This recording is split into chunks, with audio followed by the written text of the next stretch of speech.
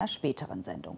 Und jetzt geben wir sofort weiter nach Berlin. Dort kommt in diesen Minuten auf Antrag der Grünen und der Linksfraktion der Deutsche Bundestag zusammen, um über die NSA-Abhöraffäre zu debattieren. Beschlüsse sind heute nicht zu erwarten und so scheint es doch eher eine symbolische Sitzung.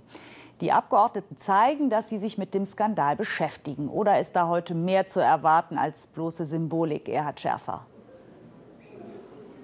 Da ist, äh, Ina Baltes, zumindest von der Tagesordnung her ein klein wenig mehr zu erwarten. Es ist ja das erste Zusammentreffen des neuen Parlaments nach der konstituierenden Sitzung am 22. Oktober.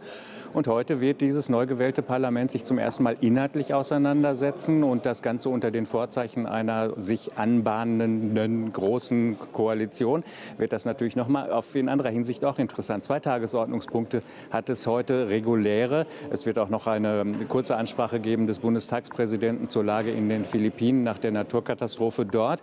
Der erste Tagesordnungspunkt wird sein eine Regierungserklärung der Bundeskanzlerin mit anschließender Aussprache zu einem EU-Gipfel Ende des Monats März, am 28. und 29. November in Vilnius. Und da können wir das Thema Koalition auch noch mal aufnehmen, denn dann sollten ja eigentlich die Koalitionsverhandlungen abgeschlossen sein. Schauen wir mal. Und das andere Thema heute, das eine große Rolle spielt, Sie haben das angedeutet, das ist in der Tat, die, sind die Konsequenzen aus der Spähaffäre des NSA, der National Security Agency, also eines von 16 Geheimdiensten in den Vereinigten Staaten, hier bei deutschen Mitbürgerinnen und Mitbürgern und nicht nur bei denen, nämlich auch bei der Bundesregierung. Das wird ein Thema sein, vor allem auch die Frage, welche Konsequenzen das Ganze hat für das transatlantische Beziehungen, also für die Beziehung Deutschlands mit den USA. Ich freue mich, dass zwei hier sind, die sich mit dem Thema beschäftigt haben, nämlich die beiden ersten parlamentarischen Geschäftsführerinnen, Geschäftsführer von Grünen und Unionsfraktionen. Britta Hasselmann ist bei uns und Michael Große-Brömer. Schön, dass Sie zu uns gekommen sind in diese erste Debatte des neuen Parlaments, eine Sondersitzung. Nichtsdestotrotz, Frau Hasselmann, was wollen Sie erreichen mit dieser Sitzung heute? Ja, ich bin froh, dass es zu dieser Sitzung kommt. Wir Grüne hatten ja diese Sondersitzung beantragt. Äh, und wir ähm, wollen unbedingt, dass über die Frage, welches Ausmaß hat eigentlich das Thema Überwachung, Ausspähung, ähm, die Frage der Grundrechtsverletzung für alle Bürgerinnen und Bürger, nicht nur für das Handy der Kanzlerin, dass darüber endlich mal öffentlich diskutiert wird und nicht nur im parlamentarischen Kontrollgremium. Und das ist heute die erste Gelegenheit dazu. Deshalb bin ich sehr froh, äh, dass wir diese Debatte jetzt gleich führen können. Dann beschäftigen wir uns noch einen Moment mit der Frage, auf welcher Grundlage, auf welcher Datenbasis ist in dem Zusammenhang ja doppelt spannend, äh, dieses Wort zu verwenden, äh, diese ganze Debatte heute stattfindet. Es hat, äh, wenn ich mich richtig erinnere, zwei Delegationen gegeben, die in den USA gewesen sind, da teilweise auch mit den Geheimdiensten ähm, gesprochen haben. Herr Große Brömer, was können Sie uns eigentlich heute, Stand heute sagen, über den Umfang dieser Spähaffäre und den Umgang mit den dabei ermittelten Daten? Nun, wir haben äh, deutliche Fortschritte gemacht, was die Aufklärung betrifft. Das äh, ist im parlamentarischen Kontrollgremium immer wieder deutlich gemacht worden. Und im Übrigen haben wir, glaube ich, auch kein äh, Defizit, was die öffentliche Argumentation betrifft. Denn nach jeder Sitzung des parlamentarischen Kontrollgremiums war der Auflauf groß, zu Recht, weil die Leute interessiert sind äh, an das, was passiert ist und an den Behauptungen, die immer wieder wöchentlich sozusagen neu äh, zu kontrollieren waren. Und ich denke, dass wir in vielfacher Hinsicht Aufklärung bekommen haben. Wir haben klare Hinweise bekommen, äh, auch welche, welche Dokumente noch ähm, äh, sozusagen von dem Geheimnisstatus befreit werden müssen. Es ist angekündigt, dass wir auch ein Deutschlandpaket bekommen.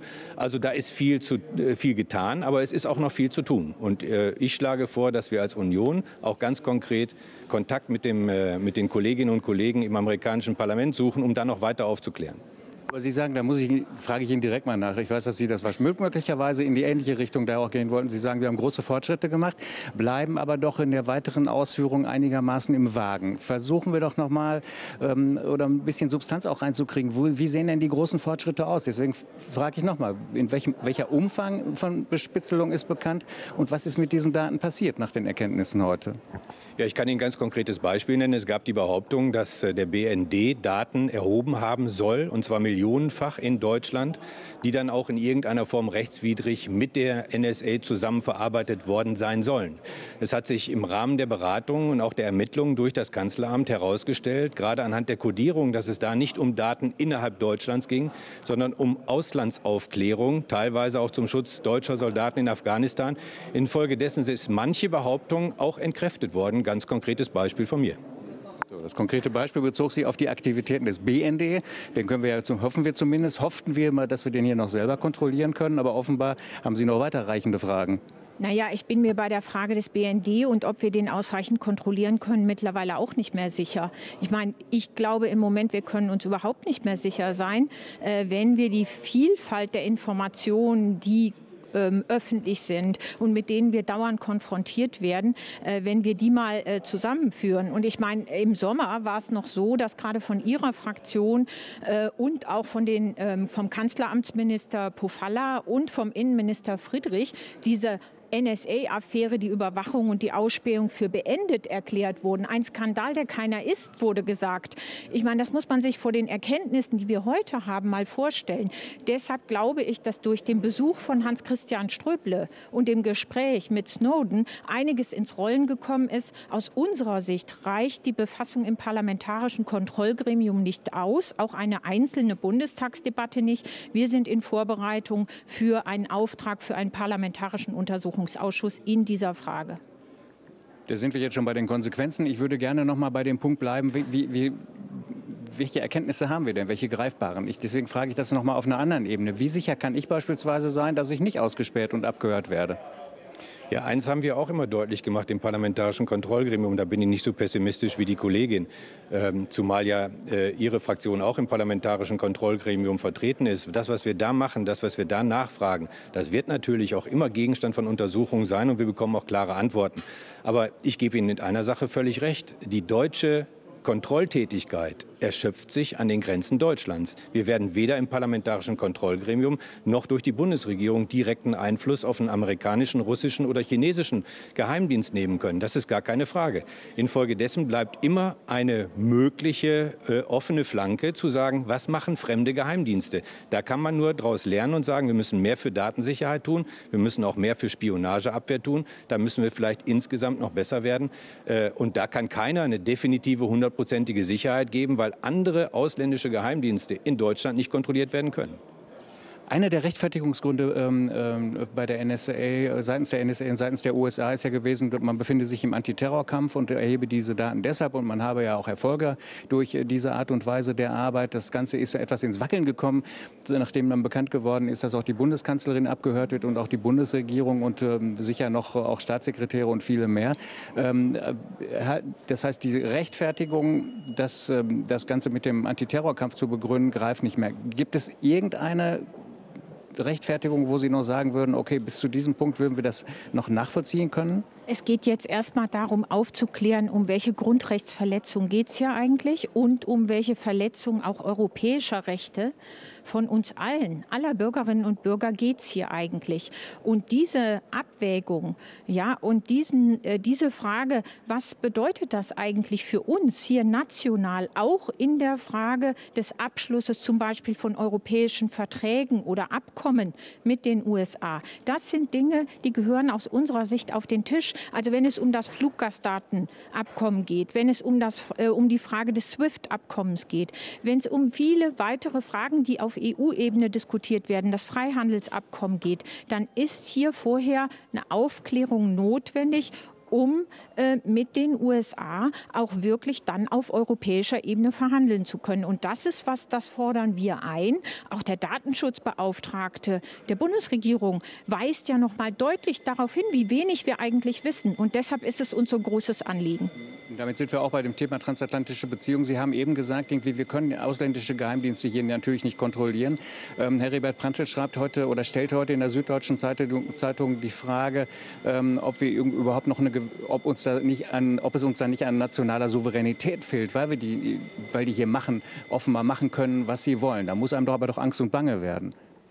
Jedenfalls muss man als Konsequenz dieser ganzen Debatte das tun, was die Kanzlerin begonnen hat und die Bundesregierung bislang konsequent durchführt, beginnt mit dem Bundesinnenminister. Wir müssen über neue IT-Sicherheit nachdenken. Wir müssen uns äh, bemühen, internationale europäische Abkommen zu schließen, die genau das vermeiden. Äh, Datenschutz, Datensicherheit endet nicht an nationalen Grenzen. Das äh, hat der amerikanische Präsident übrigens richtig gesagt. Das, was heute technisch möglich ist, darf man nicht vollständig umsetzen. Daran muss man gemeinsam arbeiten, international. Das ist der richtige Weg, den die Kanzlerin beschreitet schon. Das heißt, Sie glauben oder hoffen eben ernsthaft auch, dass, dass ein solches Abkommen, sofern es denn geschlossen wird und zustande kommt, ähm, dass die Amerikaner und die amerikanischen Geheimdienste daran hindert, solche Aktivitäten fortzusetzen? Na, jedenfalls kann ich ja feststellen, dass gerade durch diese Aktivitäten, ich glaube auch durch die Vorgänge in Deutschland, eine intensive Debatte auch in Amerika begonnen hat, die es am Anfang so nicht gegeben hat. Die Balance zwischen notwendiger Sicherheit und Freiheit, die ist unter Umständen von der NSA so ein wenig außer Fugen geraten. Und äh, daran zu arbeiten, auch aus Deutschland Anstöße zu geben, ist richtig und sinnvoll. Das äh, übrigens muss ergänzt werden durch eigene Tätigkeiten zum Schutz deutscher Staatsangehöriger, soweit es technisch möglich ist. Aber wir müssen natürlich auch die technischen Voraussetzungen sehen und daraus politische Konsequenzen ziehen. Und wenn Sie von Anfang an sagen, Abkommen machen keinen Sinn, dann können wir internationale Politik insgesamt einstellen. Das halte ich nicht für sinnvoll. Na, Abkommen haben schon Sinn. Ich frage mich nur, ob es einen Sinn macht im Zusammenhang mit dem, mit dem Thema Geheimdienste, weil, die, weil man die ja dann doch nicht immer permanent auf die Finger gucken kann. Was denken Sie vor diesem Hintergrund, ähm, dass Geheimdienste ja idealerweise aus Ihrer Sicht geheim agieren. Ähm, welchen Wert hat ein solches Abkommen, hätte ein solches Abkommen? Ja, an klare internationale und europäische Abkommen haben sich alle zu halten. Das ist für mich gesetzt. Und es geht in diesem Kontext nicht nur um die Abkommen, die wir treffen auf europäischer Ebene. Da gibt es ja auch schon eine Resolution zum SWIFT-Abkommen im Europaparlament, sondern es geht eben um die ähm, Einhaltung von Grundrechten. Und immer wieder komme ich darauf und nehme Bezug darauf, weil es so ein wichtiges und unumstößliches Recht, auf das wir uns alle beziehen können, ist. Und da müssen wir sicher sein. Und da müssen Bürgerinnen und Bürger auch sicher sein können einer, der maßgeblich daran beteiligt war, dass wir das, worüber wir reden, überhaupt wissen, weil wir wussten es bis vor kurzem ja gar nicht, ist Edward Snowden, der sogenannte Whistleblower im, für die USA, ein Verräter. Wie ist der Stand bei Ihrer Fraktion, auch bei der amtierenden Bundesregierung, ähm, mit Edward Snowden ins Gespräch zu kommen und vor allem wo? Wir haben eine klare Auffassung. Wir sind nicht der Auffassung, dass Herr Snowden in Deutschland Asyl äh, bekommen kann. Dazu bedarf es einer politischen, ethnischen oder religiösen Verfolgung. Er wird allerdings verfolgt, weil er in Amerika gegen Strafgesetze verstoßen hat. Ähm, deswegen haben wir da eine klare Auffassung. Wir haben aber genauso im parlamentarischen Kontrollgremium die Bundesregierung aufgefordert zu prüfen, inwieweit in Moskau eine informatorische Anhörung von Herrn Snowden möglich ist. Wir halten eine Kontaktaufnahme mit ihm durchaus für sinnvoll, zumal ja auch der Generalbundesanwalt, falls er ein Ermittlungsverfahren einleitet, prüfen muss, ob Herr Snowden in irgendeiner Form als Zeuge zur Verfügung stehen kann, obwohl er nach eigenen Aussagen ja gar keine Dokumente mehr besitzt. Wie man Kontakt aufnehmen kann mit Edward Snowden, hat Hans-Christian Ströbel vorgemacht, der grüne Bundestagsabgeordnete. Sie fordern nach wie vor Asyl für Snowden auch in Deutschland? Wir haben gesagt, Hans-Christian Ströbler hat durch den Snowden-Besuch einiges ins Rollen gebracht und wir fordern einen gesicherten Aufenthalt.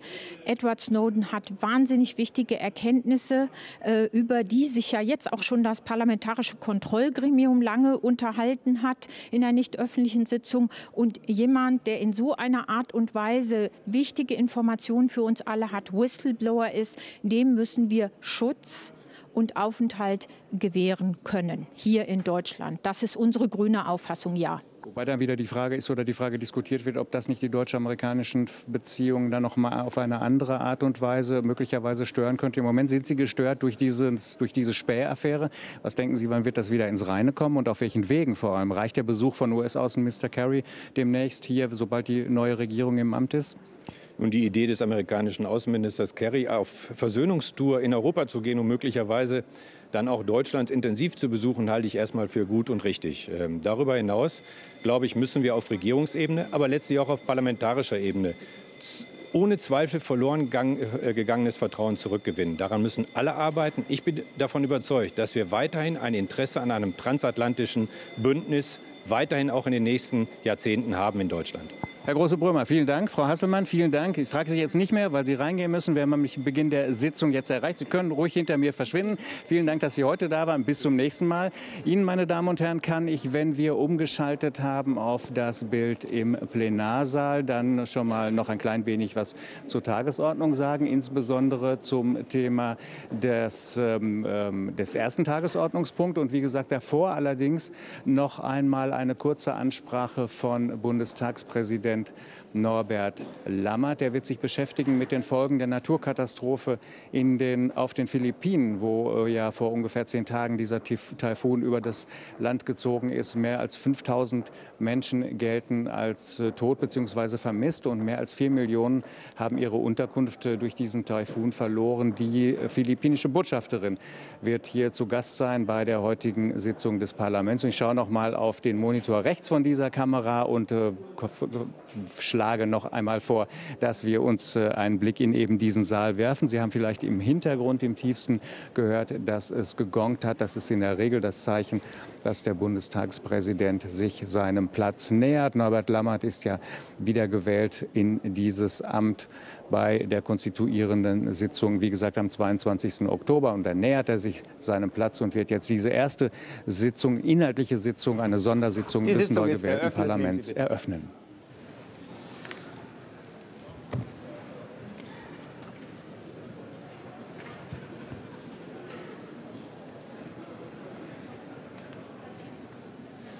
Liebe Kolleginnen und Kollegen, ich begrüße Sie herzlich zur zweiten Sitzung des Bundestages in der neuen, der 18. Legislaturperiode. Bevor wir in unsere Tagesordnung eintreten, habe ich Ihnen einige Mitteilungen zu machen. Ich beginne mit der rundum erfreulichen Mitteilung, dass die Kollegin Brigitte Zypris am vergangenen Samstag einen runden Geburtstag feiern konnte und ich ihr im Namen des ganzen Hauses auch auf diesem Wege noch einmal herzlich gratuliere und alles Gute für das neue Lebensjahr wünsche. Ich mache Sie darauf aufmerksam, dass es eine interfraktionelle Verständigung gibt. Den bereits am 21. März dieses Jahres im Ältestenrat vereinbarten vorläufigen Zeitplan für das Jahr 2014 zu bestätigen. Also mit vorläufiger Zeitplan ist selbstverständlich gemeint die Sitzungswochen des Bundestages im Jahre 2014. Dazu gibt es eine Wortmeldung. Herr Kollege Gysi. Herr Präsident, ich missbrauche die Wortmeldung natürlich nicht dazu, aber es geht eins nicht, dass Sie am vergangenen Samstag 65 Jahre alt geworden sind und das hier nicht erwähnt wird. Meine herzlichen Glückwünsche, ich glaube im Namen des ganzen Hauses.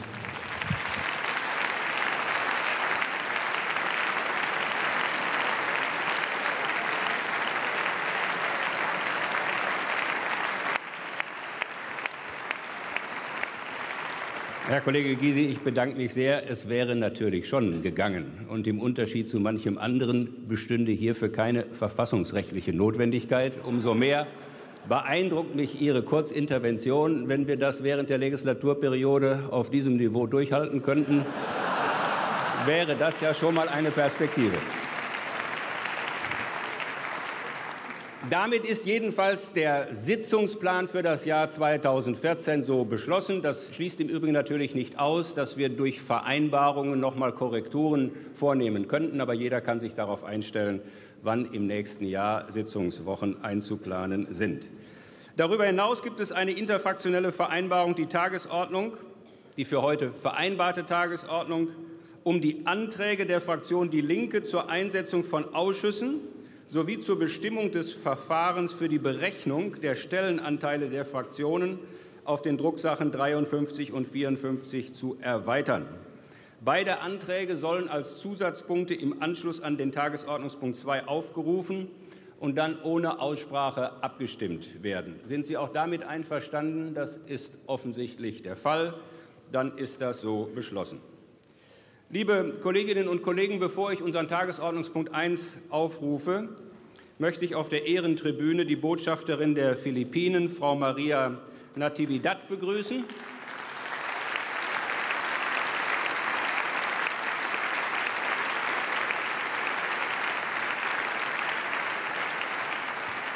und unsere Gedanken vor den Aufgaben und Herausforderungen im eigenen Land in jenen Teil der Welt lenken, der am Freitag vor einer Woche vom tropischen Wirbelsturm Haiyan heimgesucht wurde. Dieser Taifun war einer der stärksten, die jemals von Meteorologen registriert wurden und hat auf den Philippinen schwerste Verwüstungen angerichtet, ganz besonders auf den Inseln Samar und Leyte. Die Bilder, die uns in den letzten Tagen erreicht und erschüttert haben, zeigen Städte und Landschaften, die in einem geradezu apokalyptischen Ausmaß zerstört sind. Besonders schlimm hat es die Stadt Tacloban getroffen, die völlig zerstört worden ist. Aber auch in anderen Teilen der Philippinen sind Millionen Menschen vom Sturm betroffen. Nach Schätzungen der Behörden sind mehrere tausend Tote zu beklagen. Die materiellen Schäden sind noch gar nicht abzuschätzen, aber schon jetzt ist offensichtlich, dass viele, sehr viele Menschen ihre Existenzgrundlage verloren haben. Die Menschen auf den Philippinen brauchen jetzt vor allem Hilfe, schnell und konkret. Schon unmittelbar nach den ersten Meldungen über die Katastrophe haben Regierungen und Hilfsorganisationen aus aller Welt ihre Hilfe zugesagt. Auch die Bundesregierung hat rasch Hilfsgüter zur Verfügung gestellt, um die erste Not zu lindern. Zahlreiche Helfer aus Deutschland sind bereits vor Ort oder auf dem Weg, um den Menschen zu helfen. Viele Menschen in unserem Land beteiligen sich mit beachtlichen Spenden an den Bemühungen zur Bewältigung der riesigen Probleme und Aufgaben. Liebe Kolleginnen und Kollegen, die Menschen auf den Philippinen machen in diesen Tagen eine unendlich schwere Zeit durch. Wir in Deutschland können nur erahnen, aber nicht ermessen, welches Leid vor Ort dort zu bewältigen ist. Aber wir wollen Ihnen, Frau Botschafterin, deutlich machen, dass wir in unseren Gedanken bei Ihnen und bei den Menschen in Ihrem Land sind und nach Kräften daran helfen wollen, Schäden zu beseitigen und Leid zu lindern. Unsere Trauer und Anteilnahme gilt den Angehörigen der Opfer, unser Mitgefühl den betroffenen Menschen und unser Dank und Respekt all denen, die nach Kräften helfen, manche auch über ihre Kräfte hinaus. Vielen Dank.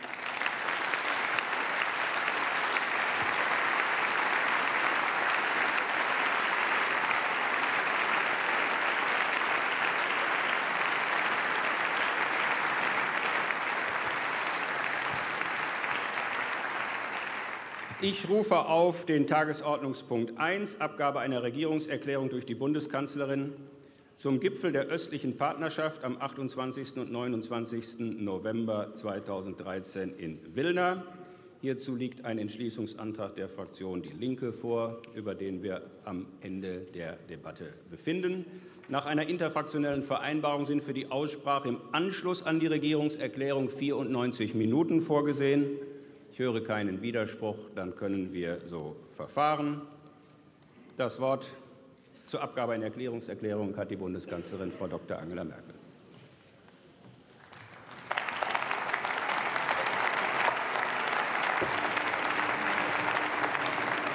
Sehr geehrter Herr Präsident, sehr geehrte Kolleginnen und Kollegen, sehr geehrte Frau Botschafterin, auch im Namen der Bundesregierung möchte ich noch einmal die herzlichen Wünsche an das philippinische Volk von diesem Ort hier überbringen. Der Bundesaußenminister steht in ständigem Kontakt. Ich habe mit dem Präsidenten Aquino persönlich telefoniert und Sie dürfen wissen, dass wir alles, was in unseren Möglichkeiten steht, tun werden, um dem philippinischen Volk in dieser schweren Stunde zur Seite zu stehen.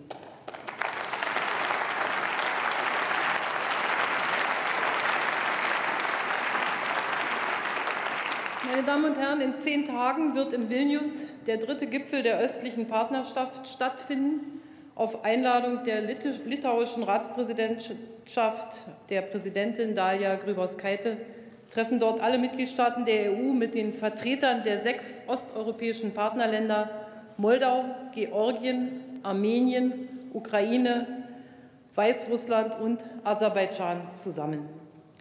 Ich werde an diesem Gipfel wie an den beiden früheren Gipfeln in Prag und Warschau teilnehmen.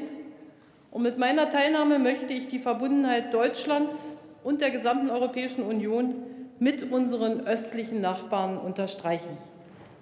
Es ist unser gemeinsames strategisches Interesse, die Weiterentwicklung dieser Länder zu fördern, die Transformation in den Bereichen Demokratie, Menschenrechte, gute Regierungsführung zu unterstützen und die wirtschaftliche Entwicklung dieser Länder zu stärken.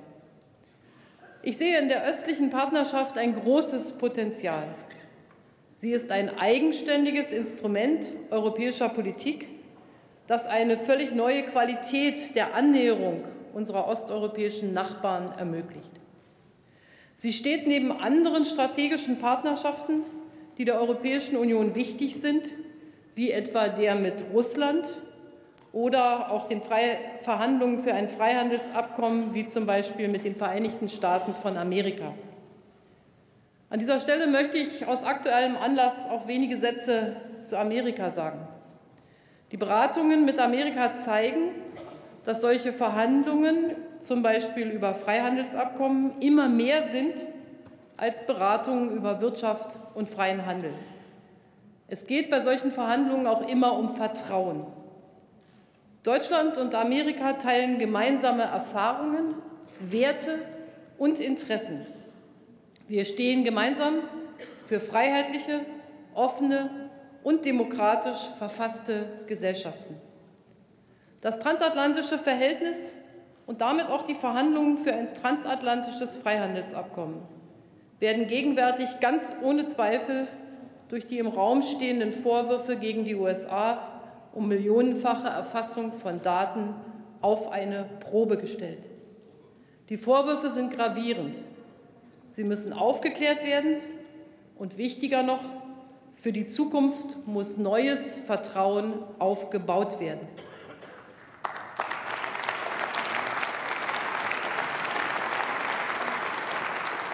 Das kann nur durch Transparenz einerseits und das Bewusstsein andererseits geschehen, dass das transatlantische Verhältnis für beide Partner, ich betone für beide Partner, gerade aber auch für Deutschland, wesentlicher Garant unserer Freiheit und unserer Sicherheit ist. Ich sage deshalb ausdrücklich, trotz allem sind und bleiben das deutsch-amerikanische und das transatlantische Verhältnis von überragender Bedeutung für Deutschland und genauso für Europa. Meine Damen und Herren, das steht im Übrigen in keiner Weise im Gegensatz dazu, dass Deutschland und Europa größtes Interesse an weiteren Instrumenten europäischer Politik haben. Und genau dazu gehört auch die östliche Partnerschaft. Um Missverständnissen vorzubeugen, die östliche Partnerschaft ist kein Instrument der EU-Erweiterungspolitik. Es geht im Rahmen der östlichen Partnerschaft nicht um EU-Beitrittsperspektiven, es geht vielmehr darum, unsere Partner bei der Demokratisierung und Modernisierung zu unterstützen, indem wir politische Annäherung und wirtschaftliche Integration anbieten. Dabei lassen wir uns von den Grundsätzen der Konditionalität und der Differenzierung leiten. Das heißt, dass die Länder, die auf dem Weg zur Demokratie und zu Rechtsstaat mehr oder weniger voranschreiten, auch unterschiedlich behandelt werden und damit unterschiedlich von der EU-Förderung und der Kooperation profitieren können. Drei Punkte sind in diesem Zusammenhang besonders wichtig. Erstens eine erfolgreiche Transformation unserer Partnerländer. Zweitens ihre souveräne Entscheidung über ihre politische Ausrichtung. Und drittens die Kontakte von Mensch zu Mensch. Eine gute wirtschaftliche und politische Entwicklung unserer östlichen Nachbarn ist von großer Bedeutung. Und zwar nicht nur für unsere Partner, sondern auch für die Stärke und den Wohlstand der Europäischen Union. Auch deshalb müssen wir unser Engagement für unsere Nachbarn entschlossen fortsetzen. Unsere Partnerschaft verpflichtet nämlich beide Seiten. Wir wollen den wirtschaftlichen Austausch und die Kontakte zwischen unseren Gesellschaften, zwischen der EU und ihren Partnern wie auch zwischen den Partnern untereinander. Den Zivilgesellschaften in den östlichen Partnerländern kommt in diesem Prozess eine entscheidende Rolle zu. Sie müssen diesen Wandel tragen, fordern und fördern. Sie sollen die politische Annäherung ihrer Länder an die EU und die Chancen der wirtschaftlichen Integration erleben und gestalten können. Dieser besondere Schwerpunkt nicht nur im Bereich der Regierungszusammenarbeit, sondern des Zusammenwirkens der Menschen drückt sich auch darin aus, dass die wirtschaftliche Kooperation und die Zusammenarbeit der Zivilgesellschaft beide elementare Bestandteile der östlichen Partnerschaft sind. Dabei haben wir bestimmte Instrumente in der Hand. Sie klingen oftmals sehr technisch, aber sie bedeuten in jedem einzelnen Falle konkrete Verbesserungen des Zusammenlebens. Dazu gehören Assoziierungs- und Freihandelsabkommen ebenso wie Erleichterungen in Visafragen. Wesentlich für das gegenseitige Verständnis ist die Teilnahme junger Menschen aus den östlichen Partnerländern an EU-Programmen wie Erasmus und anderen. All diese Elemente tragen zu einer zunehmenden Orientierung der östlichen Partner an unseren Werten und unseren Standards bei. Auf dem kommenden Gipfel wollen wir mit Moldau und Georgien Assoziierungs- und umfassende Freihandelsabkommen paraffieren.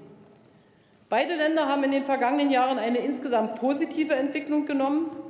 In Georgien kam es zu einem friedlichen Regierungswechsel durch demokratische Wahlen und eine Verbreiterung des gesellschaftlichen Konsenses über die Ausrichtung des Landes. Die Republik Moldau hat trotz mancher innenpolitischer Turbulenzen die vielleicht größte Entschlossenheit der östlichen Partner bei der Verabschiedung und Umsetzung von Reformen gezeigt. Damit die anstehende Paraffierung der Assoziierungs- und Freihandelsabkommen auch rasch wirksam werden kann, haben wir uns beim letzten Europäischen Rat in Brüssel dazu verpflichtet, die Voraussetzungen für eine anschließende Unterzeichnung schnellstmöglich zu schaffen.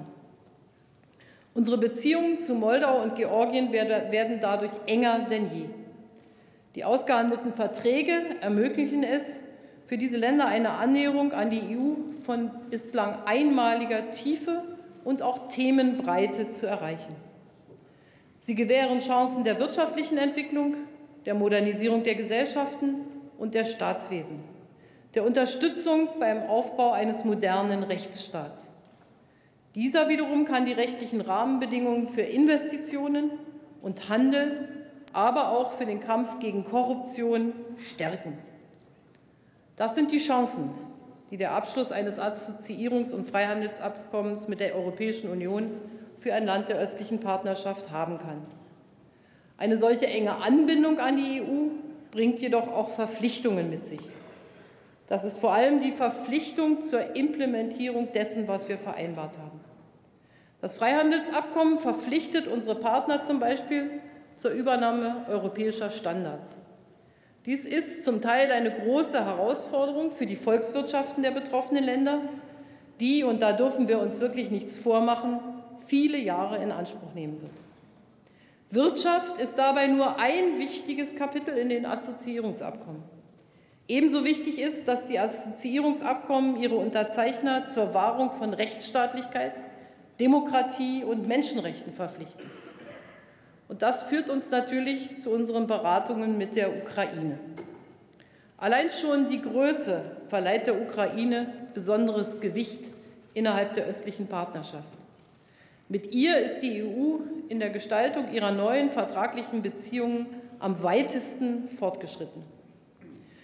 Wir haben der Ukraine in der Vergangenheit immer deutlich gemacht, dass die neue vertragliche Qualität der Zusammenarbeit dass die gemeinsame Verpflichtung auf europäische Werte wie Demokratie, Rechtsstaat und Bürgerfreiheiten mehr als ein Lippenbekenntnis sein muss.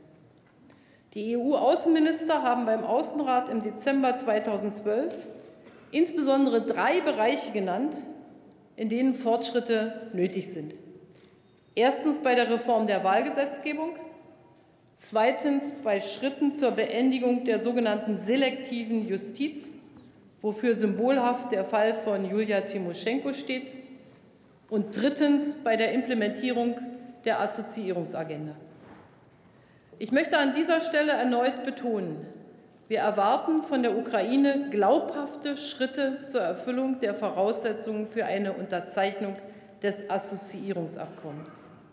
Wir erwarten, dass dieser Prozess nachhaltig und unumkehrbar umgesetzt wird. Es steht außer Zweifel, dass die Ukraine weiterhin vor großen Reformanstrengungen im Innern steht. Eine zusätzliche enorme Herausforderung für die Ukraine ist die Haushaltskonsolidierung. Ohne solide Finanzen wird es das Beistandsabkommen mit dem IWF nicht geben können. Und wir glauben, dass ein solches Beistandsabkommen mit der Ukraine dringend notwendig wäre. Daran hängen auch die substanziellen bilateralen Kredite der EU als Makrofinanzhilfe, insgesamt mehr als eine halbe Milliarde Euro. Und hier ist unser stetiger Rat an die Ukraine, die nötigen Reformen zu unternehmen. Diese Schritte können wir der ukrainischen Regierung nicht abnehmen. Sie müssen auch unabhängig von der Unterzeichnung des Assoziierungs- und Freihandelsabkommens unternommen werden. Wir wissen, dass Reformen nicht von heute auf morgen vollständig umgesetzt werden können. Wir möchten auch die Ukraine unterstützen bei ihren Reformen mit Kooperationsangeboten, mit finanziellen Mitteln der europäischen Nachbarschaftspolitik. Aber die Voraussetzungen dafür muss die Ukraine selbst schaffen. Und zwar nicht irgendwann, sondern jetzt. In diesen Tagen, ich sagte ja, es sind noch zehn Tage bis zu dem Gipfel, finden eine Vielzahl von Gesprächen statt, ebenso Beratungen im ukrainischen Parlament. Heute muss ich Ihnen hier sagen, es ist noch nicht abzusehen, ob die Ukraine willens ist, die Voraussetzungen für eine mögliche Unterzeichnung zu schaffen. Heute und morgen debattiert der Außenministerrat in Brüssel genau auch über dieses Thema. Wenn die Ukraine unsere Erwartungen erfüllt und wir somit unterzeichnen können, dann könnten wir der Ukraine nicht zuletzt über eine breite vorläufige Anwendbarkeit des Abkommens auch für den Fall den Rücken stärken, dass sie sich mit Nachteilen seitens Russlands konfrontiert sieht. Wir wissen, dass die Entscheidung für die Anbindung an die Europäische Union nicht nur der Ukraine, sondern unseren Partnern insgesamt nicht leicht fällt. In den letzten Monaten sahen sich einige von ihnen zum Teil erheblichem Druck ausgesetzt. Ich werde mich deshalb auch in Vilnius dafür einsetzen, dass die EU diesem Druck konkrete Chancen und gelebte Solidarität entgegensetzt, sei es durch zusätzliche Absatzmöglichkeiten für Produkte unserer Partner, die zum Beispiel nicht nach Russland eingeführt werden dürfen, oder durch Hilfe bei der breiteren Aufstellung ihrer Energieversorgung. Um es klar zu sagen, die Länder entscheiden allein über ihre zukünftige Ausrichtung. Ein Vetorecht Dritter kann es nicht geben. Das ist unser Verständnis der uneingeschränkten gegenseitigen Achtung der Entscheidungsfreiheit, wie sie in der OSZE-Charta festgeschrieben ist. Ich habe diese Frage auch in meinen Gesprächen mit dem russischen Präsidenten Wladimir Putin immer wieder thematisiert. Ich habe wiederholt deutlich gemacht, dass sich weder die östliche Partnerschaft noch die bilateralen vertraglichen Beziehungen, die die EU mit ihren Partnern abschließen will, gegen Russland richten. Im Gegenteil. Von der Stärkung und Modernisierung der Volkswirtschaften unserer osteuropäischen Partner würde, so ist unser Verständnis, auch Russland profitieren. Die EU hat immer wieder Gesprächsangebote an Russland gerichtet, um die beiderseitigen Vorteile einer Kooperation herauszuarbeiten. Wir müssen, das ist meine tiefe Überzeugung, weiter daran arbeiten, dass es kein Entweder-Oder zwischen einer Annäherung der Länder der östlichen Partnerschaft an die EU und dem russischen Bemühen um eine engere Partnerschaft mit diesen Ländern geben sollte. Die EU hat Russland dafür Vorschläge unterbreitet, über die wir schnellstmöglich sprechen müssen. Armenien hat sich in dieser Situation für den Beitritt zur Zollunion Russlands, Weißrusslands und Kasachstans und damit gegen die Paraffierung des ausgehandelten Assoziierungs- und Freihandelsabkommens mit der EU entschieden. Selbstverständlich akzeptieren wir diese Entscheidung. Gleichzeitig werden wir Wege für eine künftige Zusammenarbeit der EU mit Armenien finden. Sie wird nicht die besondere Qualität der Kooperation mit Georgien oder Moldau haben, aber Armenien bleibt ein wichtiger östlicher Partner. Lassen Sie mich an dieser Stelle noch ein Wort zu Weißrussland sagen, denn dies ist und bleibt das schwierigste Kapitel im Bereich der östlichen Partnerschaft. Seit der erneuten Repression im Zuge der Präsidentschaftswahlen im Dezember 2010 sind unverändert politische Gefangene in Haft. Bürger, die sich um Pluralität in dieser Gesellschaft bemühen, wurden hinter Gitter gebracht. Ich denke unter anderem an Ales Berjalski, den Träger des Menschenrechtspreises des Europarates. Wir alle stehen dafür ein, dass diese Menschen wieder frei reden, handeln und agieren können.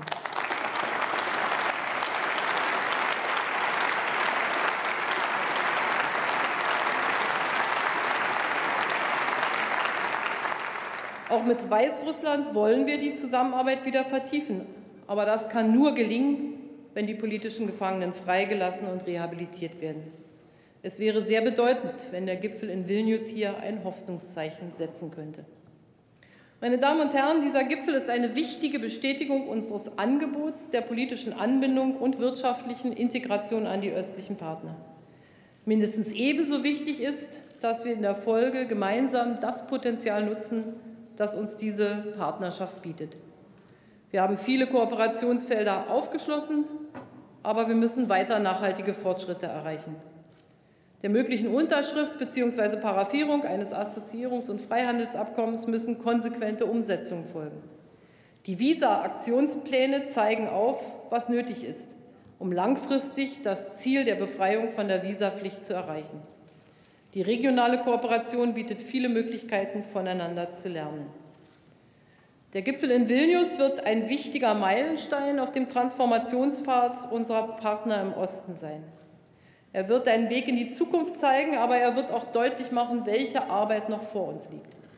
Die Schatten des Kalten Krieges sind nach wie vor existent. Und es ist unsere Aufgabe, gerade auch die Aufgabe Deutschlands, einen Beitrag dazu zu leisten, dass der Kalte Krieg für alle vorbei ist, auch unsere östlichen Partner. Herzlichen Dank, meine Damen und Herren. Beifall für die Bundeskanzlerin zu dieser Regierungserklärung zum Gipfel der östlichen Partnerschaft am 28. und 29. November in Vilna. Da will man drei Länder aus ähm, der früheren Sowjetunion näher an die EU heranführen. Aber man hat auch sich fest vorgenommen, ähm, darauf hinzuweisen, dass da doch einiges nötig ist an Bürgerrechten beispielsweise und an Justizreformen. Und jetzt was Neues, denn es spricht Dietmar Bartsch für die Linke. Und die Linke ist ja jetzt die Fraktion, die hier die Oppositionsführerrolle übernimmt. Ich freue mich, für meine Fraktion nach der, auf die Bundeskanzlerin antworten zu können. Ist schon die Reihenfolge der Redner wie das bei einer eventuellen großen Koalition sein wird. Offensichtlich gehen CDU, CSU und SPD davon aus, dass ihre Verhandlungen erfolgreich sein werden, wie auch der Mitgliederentscheid der SPD. Das alles, obwohl man im Moment vom Koalitionsvertrag vor allen Dingen viel Nebel kennt. Die Oppositionsführerschaft bringt für die Fraktion Die Linke eine besondere Verantwortung. Und ich kann den Menschen in unserem Land versprechen, dass wir alles daran setzen werden, dieser Verantwortung gerecht zu werden. Beginnen will ich damit, beginnen will ich damit, dass es ein Unding ist, dass wir heute die erste Sitzung des Bundestages außer der Wahl des Präsidiums seit Juni haben. Ja, wir hatten eine Bundestagswahl und ich hoffe, dass das Gerücht nicht stimmt, dass die Frau Bundeskanzlerin eine geheime Absprache mit der FDP hat und so lange verhandeln will, bis die Legislatur zu Ende ist. Ich hoffe, dass das wirklich nicht den Tatsachen entspricht. Fakt ist, Sie machen mit Ihren Koalitionsverhandlungen das Parlament zur Geisel. Sind das bereits die Vorboten der Großen Koalition? Wir erwarten nichts anderes als Respekt gegenüber dem Parlament. Nicht die amtierende Bundesregierung und auch nicht eine Bundesregierung in Spee, sondern der Deutsche Bundestag ist der Souverän. Wir, wie wollen Sie den Menschen erklären, die uns alle gewählt haben, dass sie uns nicht arbeiten lassen? Es trifft im Übrigen für die Opposition wie auch für die meisten Regierungsabgeordneten teil. Alle, wir alle werden hier nicht fürs Rumsitzen bezahlt. Und ich sehe nicht, dass der heutige Sitzungstag dem Anspruch, als Parlamentarier aktiv zu werden, gerecht wird. Es ist gut, vor dem Gipfel über die osteuropäische Partnerschaft zu sprechen. Die Frage muss jedoch erlaubt sein, warum wir uns heute damit beschäftigen, jedoch nicht mit den Themen, die vielen, vielen Menschen noch viel mehr auf den Nägeln brennen. Abgesehen von der NSE-Debatte, die ja seitdem es das Handy der Bundeskanzlerin betrifft, von der Regierung nicht mehr totgeschwiegen oder für beendet erklärt werden kann. Das ist aber bei weitem nicht das einzige Thema, dem wir uns widmen müssen. Dringend wäre geboten, die schwache Binnenkonjunktur in Deutschland zu behandeln, die Gefahr einer dauerhaften Depression oder Deflation in Europa, die Enteignung der Kleinsparer durch negative Realzinsen, die Bankenunion oder die Bundeskanzlerin hat ein paar Worte dazu gesagt zum Freihandelsabkommen mit den USA. Darüber müssen wir wirklich mal reden und mal kontrovers reden. Das alles sind Themen, die die Menschen in Deutschland, die Mehrheit der Menschen bewegt. Sie glauben doch nicht ernsthaft, dass die Eurokrise vorbei ist. wenn sich Irland und Spanien demnächst das Geld wieder teuer auf dem Finanzmarkt leihen müssen. Das vermehrt vielleicht sichere Profite für Banken, die sich das Geld momentan quasi umsonst von der Europäischen Zentralbank leihen können. Aber die Krise macht doch keine Pause. Die wird nur mit billigem Geld derzeit zugeschüttet. Morgen soll eine neue Kredittranche aus dem sogenannten Rettungsschirm an Portugal freigegeben werden. Wollen Sie das den Menschen verschweigen? Wollen Sie verhindern, dass Ihre Europapolitik debattiert wird? Darüber muss geredet werden. Deshalb haben wir, aus diesem Grund haben wir eine etwas kreative Aufsetzungspolitik betrieben und einen Entschließungsantrag zur Krisenpolitik gegenüber Portugal zur heutigen Debatte eingebracht, zu dem ich gleich noch ein paar Worte sagen werde. Aber nun zur europäischen Partnerschaft und dem diesbezüglichen Gipfel in Vilnius. Natürlich begrüßen wir als Linke eine engere Zusammenarbeit mit den östlichen Nachbarn der EU. Ja, vielleicht muss man im deutschen Parlament auch noch mal deutlich sagen, dass Europa bis zum Ural geht und dass viele ehemalige Sowjetrepubliken und Russland genauso zu Europa gehören wie Frankreich, Spanien oder Griechenland. Deshalb ist es gut, dass es mehr Handel, dass es mehr Austausch geben soll, dass diese Beziehungen den Menschen in ganz Europa zugutekommen sollen. Ja, Frau Bundeskanzlerin, wir aus den neuen Ländern haben da eine besondere Verantwortung. Für die neuen Länder ist es auch eine Chance. Wir wissen, dass viele traditionelle Verbindungen in diese Länder zusammengebrochen sind. Es gibt sie aber noch. Vor allen Dingen, das wissen wir beide, gibt es einen Erfahrungsvorsprung, insbesondere bei Sprachkenntnissen und bei kulturellen Beziehungen. Entscheidend wird aber sein, dass bei der osteuropäischen Partnerschaft nicht die Dinge, die Europa in die Krise gezwungen haben, ganz oben anstehen, wie die Liberalisierung des Kapitalverkehrs, wie der Freihandel, wie die Konkurrenz um Löhne nach unten oder die Konkurrenz um die schlechtesten Arbeitsbedingungen. Nein, das wäre der falsche Weg. Es muss vor allen Dingen um Integration gehen, nicht um knallharte Interessenpolitik, nicht um, nur um mehr Export aus der EU in diesen Ländern. Ein sehr, sehr wichtiger Punkt wären zum Beispiel Erleichterungen bei den Visabedingungen für die Menschen aus der Ukraine, aus Belarus, aus Moldau, Georgien, Armenien und Aserbaidschan. Wenn wir Menschen, die zum Beispiel unter Lukaschenko leiden müssen, Sie haben das geschildert, Visa nur ganz schwer erteilen, dann ist das doch ein Problem. Wir können helfen durch mehr Offenheit, dass dort Mauern fallen. Deswegen ist die Visafrage eine zentrale Frage.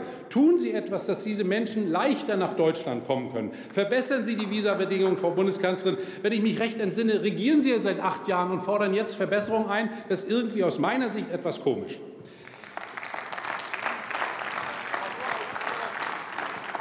Immerhin.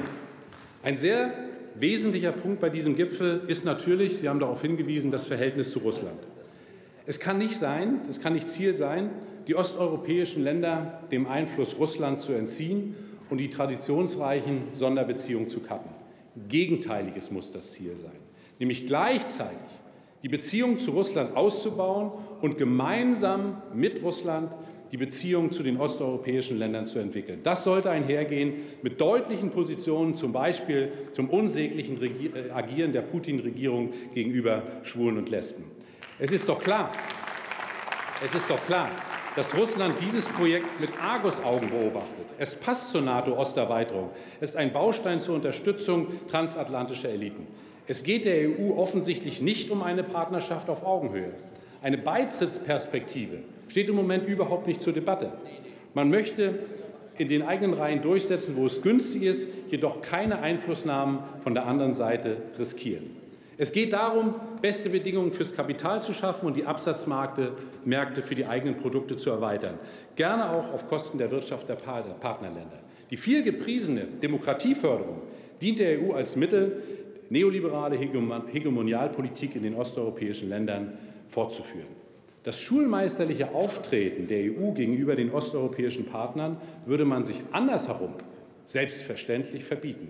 Es geht der EU viel zu wenig um Menschenrechte, um Rechtsstaatlichkeit oder Demokratie und viel zu viel um Einflussnahme und Machtpolitik. Das bedeutet dann auch, dass die EU kein Interesse daran hat, etwa soziale oder ökologische Standards auf hohem Niveau festzuschreiben. So würde eine große Chance verpasst. Mir scheint, dass die EU auch bei der osteuropäischen Partnerschaft unverdrossen weiter auf genau die Rezepte setzt, die uns in die Krise geführt haben, Liberalisierung, Freihandel, Lohnkonkurrenz.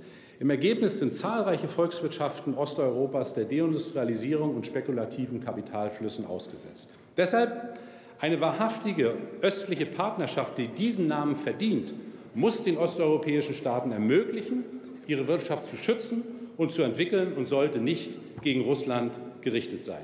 Nun ein paar Bemerkungen zu unserem Entschließungsantrag. Die Eurokrise, wie ich gesagt habe, ist nicht verschwunden und erst recht nicht überwunden. Und in Kürze soll eine neue Kredittranche Richtung Portugal in Höhe von 5,6 Milliarden Euro, davon 3,7 Milliarden Euro durch den EFSF, bewilligt werden. Dafür haften auch die Steuerzahlerinnen und Steuerzahler in Deutschland. Unser Steuergeld wird verbrannt, weil Portugal aufgrund der Schuldenlast und der wachstumsfeindlichen Kürzungsdiktate diese Kredite niemals wird bedienen können. Das Memorandum of Understanding sieht gar vor, dass die Unternehmensbesteuerung in Portugal sinken soll. Das ist doch alles nicht mehr zu fassen. Portugal geht nicht gerettet, sondern die Banken und Gläubiger werden freigekauft und Demokratie und Sozialstaat werden in Portugal zerstört. Darum geht es in Wahrheit. Seit Beginn der sogenannten Euro-Rettung stieg die Staatsverschuldung Portugals auf etwa 128 Prozent des Bruttoinlandsproduktes. Das ist das Niveau von Griechenland bei Ausbruch der Krise. Die Arbeitslosigkeit ist auf über 17 Prozent gestiegen. Das ist die bisherige Europapolitik und die ist gescheitert. Wenn man sich mal anschaut, wie die Arbeitslosigkeit in den europäischen Ländern bei, den, bei jungen Menschen unter 24 Jahren sich entwickelt hat. Da ist sie nicht nur in Portugal bei 42 Prozent, in Griechenland bei erschreckenden 57,3 Prozent, in Spanien bei 56,5 Prozent. Nein, auch bei den dazugekommenen oder später dazugekommenen Ländern ist die Situation katastrophal. In Bulgarien 28,3 Prozent, in der Slowakei 31,1 Prozent, in Kroatien sagenhafte 52,8 Prozent Jugendarbeitslosigkeit. Das sind doch alles Fakten und die müssten doch zu einem Aufschrei in der Politik führen. Die müssten zu einem Nachdenken über die bisherige Politik führen. Vor allem darf das kein Muster für die osteuropäische Partnerschaft sein, meine Damen und Herren. Wir fordern daher eine andere, eine verantwortungsvolle Europapolitik. Wir haben daher in unserem Entschließungsantrag beantragt, dass der deutsche Vertreter im Direktorium des EFSF der Bewilligung der Kredite seine Zustimmung versagt. Wir wollen, wir wollen die privaten Gläubiger Portugals durch einen Schuldenschnitt in die Pflicht nehmen, die Eigentümer der Banken, die Inhaber der Bankenanleihen sowie die Einlagen von ausländischen Banken und Geldmarktfonds sind für die Verluste der Banken heranzuziehen. Nur die Einlagen der Kleinsparer und des, des gewerblichen Kreditgeschäftes müssen, sind abzusichern. Portugal braucht Investitionsprogramme, meine Damen und Herren, statt Bankenrettungspakete. Dafür brauchen wir eine EU-weite Vermögensabgabe für Millionäre. Allein das Vermögen der europäischen Millionäre übertrifft mit 14 Billionen Euro die gesamte Staatsverschuldung aller 28 EU-Länder. Korrigieren Sie diese Europapolitik. Weisen Sie beim Gipfel in Vilnius darauf hin, dass diese Fehler nicht wiederholt werden, sondern es eine Kehrtwende in der Europapolitik geben muss. Herzlichen Dank. Dietmar Bartsch in der Rolle des Oppositionsführers. Das ist neu in dieser Legislaturperiode, dass auf etwa Regierungserklärungen oder andere eingebrachte große Redebeiträge zunächst die Linken antworten werden. Jetzt ähm, Gernot Erler für die SPD. Herr Präsident, mit Ihrer Genehmigung komme ich gleich auf den Tagesordnungspunkt östliche Partnerschaft zu sprechen und habe auch vor, dabei zu bleiben. Liebe Kolleginnen und Kollegen, die östliche Partnerschaft hat sich aus der EU-Strategie der ENP, der europäischen Nachbarschaftspolitik, heraus entwickelt, die 2003 begann. Und damit ordnet sich die ÖP in eine der wichtigsten EU-Strategien neben der EU-Erweiterung ein, nämlich der Schaffung von Regionen kooperierender Staaten rund um die Europäische Union mit dem Ziel, Stabilität in der EU-Nachbarschaft vor allem durch gut nachbarschaftliche Zusammenarbeit und Vertrauensbildung zu erreichen.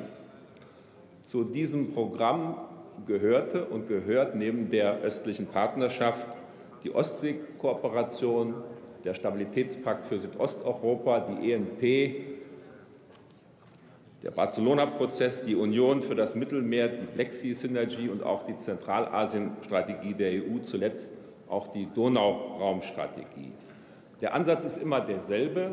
Die EU prämiert auch mit finanzierten Programmen und Projekten grenzüberschreitende Zusammenarbeit und wirbt dabei auch für europäische Werte und Verhaltensweisen. Und so steht das auch in dem Programm der östlichen Partnerschaft, die auf dem Gipfel in Prag im Mai 2009 auf den Weg gebracht wurde. Und hier war sehr deutlich, dass es da ein besonderes Interesse von Polen gab, das auch noch etwas anders im Sinn hatte, nämlich möglichst die Heranführung der Ukraine, des Nachbarlandes von Polen, näher heran an die europäische Integration. Aber offiziell sollte die östliche Partnerschaft eben gerade nicht eine Beitrittsperspektive für die sechs beteiligten Länder schaffen. Das haben Sie, Frau Bundeskanzlerin, eben auch noch mal unterstrichen. Es gibt da einen Arbeitsrhythmus der ÖP mit äh, Gipfeln aller zwei Jahre, mit jährlichen Außenministertreffen. Wir haben schon zwei Gipfel gehabt und stehen jetzt vor dem dritten in Vilnius. Das heißt, es sind viereinhalb Jahre vergangen und da ist es sinnvoll, vielleicht mal eine kritische Zwischenbilanz zu ziehen und das will ich versuchen. Dabei will ich als erstes die regionalen Konflikte betrachten. Das war ein Anspruch der östlichen Partnerschaft, auch hier zumindest diese Konflikte zu entschärfen. Ich muss feststellen, dass bei diesen drei sogenannten Frozen Conflicts wir äh, die Probleme weiter virulent haben. Das gilt für Nagorno-Karabach, wo die beiden Konfliktpartner Armenien und Aserbaidschan eher auf Aufrüstung setzen, als dass es Fortschritte bei dem sogenannten Minsk-Prozess gegeben hat. Das gilt leider auch für Abchasien und Südossetien, wo starre Fronten zwischen Russland und Georgien nach wie vor bleiben, obwohl wir vielleicht jetzt Hoffnung haben können, dass sich im Verhältnis beider Länder etwas ändert durch die Veränderungen in Georgien. Das gilt auch für den Transnistrien-Konflikt, in dem die Meseberg-Initiative zunächst Bewegung hineingebracht hat. Das hat auch wieder die 5 plus 2 Verhandlungen gegeben. Aber die meisten Beobachter sind sich darin einig, dass das Momentum der Meseberg Initiative allmählich ausläuft, aber zumindest war das ein Teilerfolg. In der Summe, liebe Kolleginnen und Kollegen, kann man nicht sagen, dass die regionale Zusammenarbeit, was die Konflikte angeht, besonders gestärkt wurde. Ganz anders sieht das aus bei der Heranführung an die EU. Hier setzt Brüssel auf eine Verbindung von Assoziationsagreements mit Freihandelsabkommen, über die jahrelang verhandelt wurde, mit übrigens verbunden auch einer verlockenden Zugabe, nämlich Visaliberalisierung. Herr Bartsch, das gehört ganz offiziell, was Sie da fordern, längst zur EU-Politik hier vor Ort. Und schließlich geht es da auch um eine vertiefte Zusammenarbeit der Zivilgesellschaften, der Civil Societies der beteiligten Länder. Aber darüber wird nachher gleich meine Kollegin Katharina Barley etwas Näheres zu uns sagen. Von Anfang an war Belarus ausgenommen aus diesen Angeboten wegen der innenpolitischen Situation, aber auch wegen der Zugehörigkeit zur Zollunion. Aserbaidschan musste als Nicht-WTO-Land auch zunächst in den Wartestand und bekommt jetzt so etwas wie eine strategische Modernisierungspartnerschaft. Aber mit den anderen vier Ländern, Ukraine, Moldova, Georgien, Armenien, wurden erfolgreich entsprechende Assoziierungsabkommen ausgehandelt. Armenien allerdings entschied sich kürzlich im Oktober dafür, doch der Zollunion äh, von Putin beizutreten. Aber der Höhepunkt sollte ja auf dem Gipfel das, die Unterzeichnung des Abkommens mit der Ukraine sein. Dieser Erfolg, das wissen wir leider aus den aktuellen Mitteilungen, ist im Augenblick alles andere als äh, gesichert. Äh, und zwar deswegen, weil nicht klar ist, ob in letzter Minute noch die Verkhovna Rada, also das ukrainische Parlament, diese drei wichtigen Gesetze über äh, die Lösung für Frau Timoschenko, über ein neues Wahlgesetz und ein neues Staatsanwaltsgesetz noch entscheidet. Es gibt eigentlich nur noch den morgigen Tag als Chance dafür. Und die Außenminister in Brüssel schauen tatsächlich im Augenblick nach Kiew, ob das noch funktioniert. Wie konnte die östliche Partnerschaft, liebe Kolleginnen und Kollegen, in eine solch kritische Situation geraten und wie lässt sich erklären, dass wir womöglich hier vor einem regelrechten Scheitern der Ostpolitik der EU stehen, wenn nicht noch ein kleines Wunder da morgen in Kiew passiert. Bei dieser Frage stößt man sehr schnell auf den Faktor Russland. Viereinhalb Jahre nach dem verheißungsvollen Auftakt der östlichen Partnerschaft muss man feststellen, die EU ist nicht müde geworden zu versichern, dass sich ihre Annäherungspolitik mit den sechs östlichen Nachbarn nicht gegen die Interessen Russlands richtet. Frau Bundeskanzlerin, Sie haben das auch eben noch mal bestätigt. Aber es ist eben leider nicht gelungen, die russische Führung davon zu überzeugen. Die hat sich verfestigt in einem Denken in geopolitischen Einflusskonkurrenzen als Nullsummenspiel. Danach versucht die EU ganz einfach, den russischen Einfluss in dieser Region zurückzudrängen, äh, zu Lasten von Russland. Und der EU ist auch nicht gelungen, die russische Föderation von Anfang an in die Aktivitäten der östlichen Partnerschaft zu eigenem Nutzen einzubinden.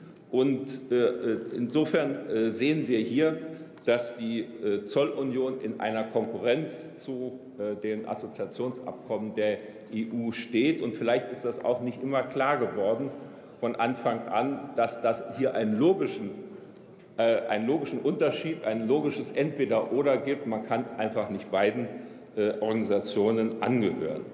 Dieser Konflikt wurde verstärkt durch das, was Wladimir Putin im Wahlkampf entwickelt hat mit der sogenannten Eurasischen Union und äh, mit dem Plan bis 2015 eben eine erweiterte Zollunion äh, zu haben und äh, da weitere Mitglieder zu gewinnen.